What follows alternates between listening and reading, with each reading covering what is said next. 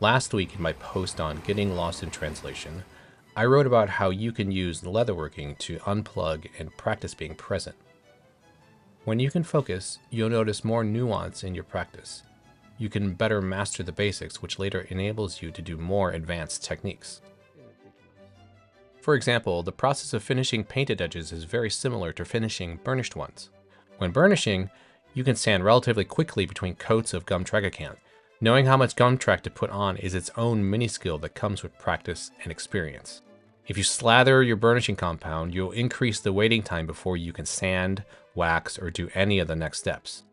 Once you learn to dial in the amount, the time intervals go down. If you over apply your burnishing compound, you can get stains on the front of the leather. This depends on the surface finish of your leather.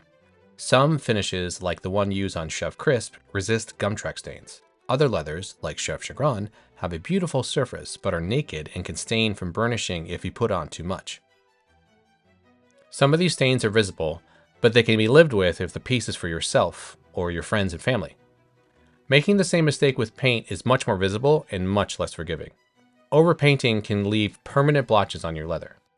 There are ways to fix this, but overpainting is best something to avoid. The application tolerance for painting is higher than burnishing. You can over apply gum trag by a relatively decent amount, and it can still be okay.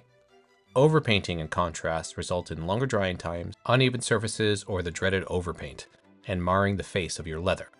Discerning when you are done with a step can be difficult if you start with painting before learning to burnish.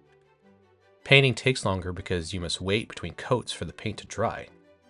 The required surface consistency is also much higher, and you can easily get lost doing layer after layer after layer. Taken together, you can see how painting requires similar skills as burnishing, but with a higher proficiency. Starting with the foundation skill of burnishing and dialing in your technique makes it much easier to transition to painted edges. Painted edges on chrome tan leather have similar steps as burnishing on veg tan. Profile shaping, surface smoothing, finish application, etc. How you do these things modulates because of the switch from burnishing compound to edge paint. It's an example of progressing in leatherworking by building on the foundation of a basic technique so that the advanced ones come more easily. Many of our readers are trying to improve their work with zippers, reinforcement, edge finishing, and other more advanced techniques. Are you trying to develop your skills further? If so, what are you focusing on?